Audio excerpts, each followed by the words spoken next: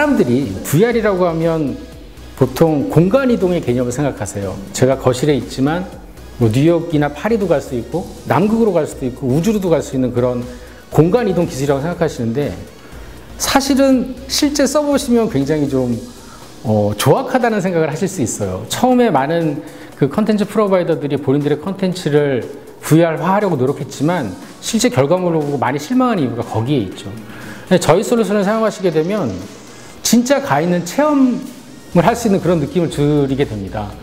어, 진짜 가 있는 것 같은 정도의 선명함을 제공할 수 있기 때문이죠. 알파소크라면 약간 딱딱하게 말씀드리면 네. 음, VR 솔루션. 특히 VR의 화질을 개선하는 솔루션을 만들고 있는 회사인데 좀 부드럽게 말씀드리면 저희 회사 이름이 알파서클이잖아요. 네. 그래서 이제 알파는 최초의.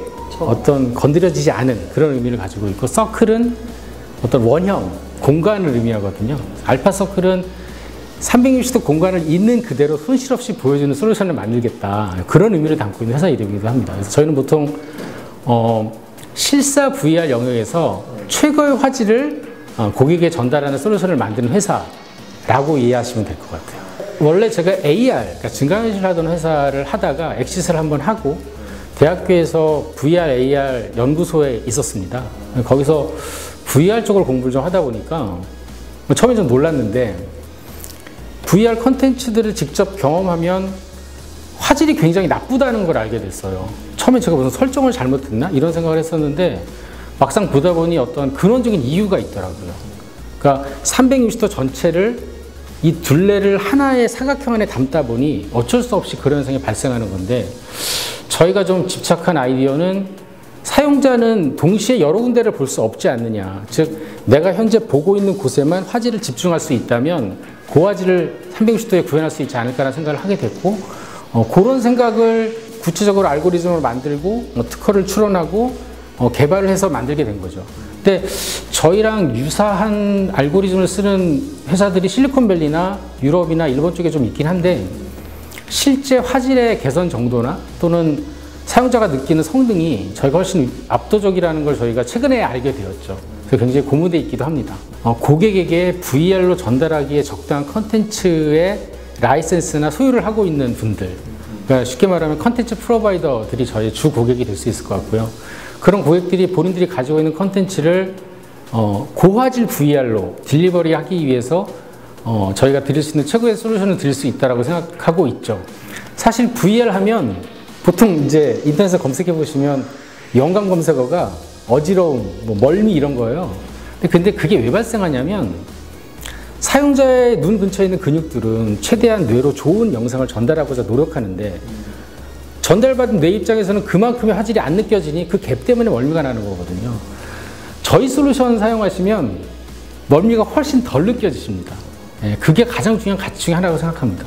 VR도 영상입니다. 그래서 보통 4K VR이라고 말들을 많이 합니다. 근데 4K는 굉장히 고화질이지만 그건 저희가 4K 텔레비전을 거실에 앉아서 봤을 때의 고화질인 거고 360도를 담아야 되기 때문에 이 사각형 안에 360도를 전체적으로 담아야 해요. 그걸 사용자들이 보는 건 VR은 이렇게 보는 게 아니라 이렇게 들어가서 보는 거거든요.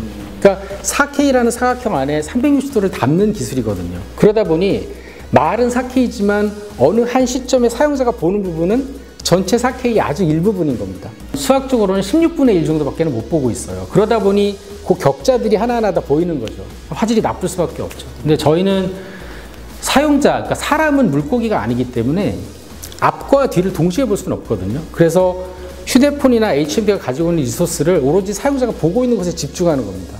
예를 들어 제가 이쪽을 보고 있다면 사용자 시야 요만큼의 4K를 할당하는 겁니다.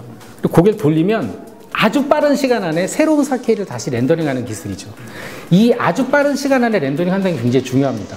시간이 충분히 있다면 누구나 할 수 있는 기술이지만 저희는 이거를 30분의 1초 안에 해결할 수 있거든요. 그렇기 때문에 사용자 고개를 아무리 빨리 돌려도 마치 하나의 영상을 보는 것처럼 느끼게 할 수 있는 거죠. 그게 이제 저희 알고리즘과 기술의 핵심이라고 보시면 될 것 같습니다. 저희의 비전은 명확합니다. 그 업계 스탠다드가 되는 것. 그래서 어떤 VR로 실사 VR을 촬영하여 딜리버리를 하고자 하는 사업자나 소비자 입장에서 볼 때 아, 알파 서클의 솔루션을 사용해야 한다 라는 인식이 업계에 자리 잡게 하는 것. 그래서 저희가 표준이 되는 것, 그걸 목표로 하고 있습니다. 어렵죠. 저도 어려운 거 알고 있는데, 음, 그걸 목표로 하고 있습니다. 꼭 이루려고 합니다.